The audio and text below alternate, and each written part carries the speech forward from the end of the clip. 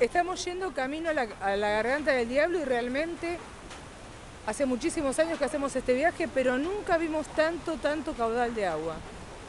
Es un día que si realmente no nos tocó con sol, hace bastante calor, está lindo, ¿Y si yo levanto? pero el caudal es impresionante. Se escucha el sonido del agua, cosa que no todos los años nos pasa.